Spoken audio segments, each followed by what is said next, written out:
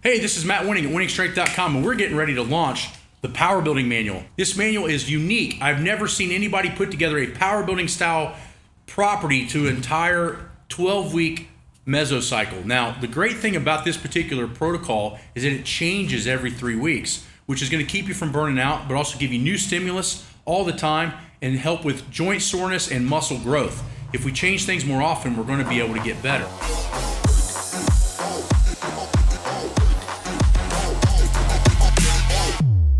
Now, what are some other key factors that power building really helps?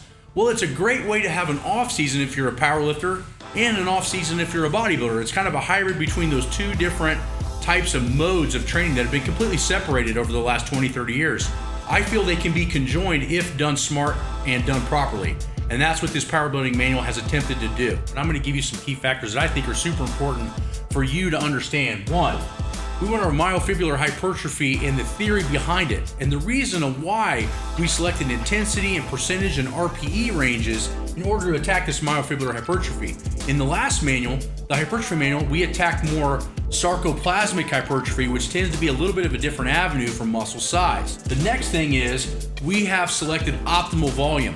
We utilize this particular workout and scheme of power building over vast amounts of different types of abilities, meaning we've seen it work from beginners all the way to advanced guys to put not only put on muscle, but shave body fat if your diet's correct. Now, if you need some help on your diet, look up our nutrition manual that we have. The other thing that I really like about the power building manual is we had almost 20 references by peer reviewed papers or other I call highly accessible or educational articles developing not only our ideas of what we thought, but also backing them up with other people and research that's going to allow you to have a little bit more confidence in why we're doing something versus saying, well, Matt Wenning said to do it.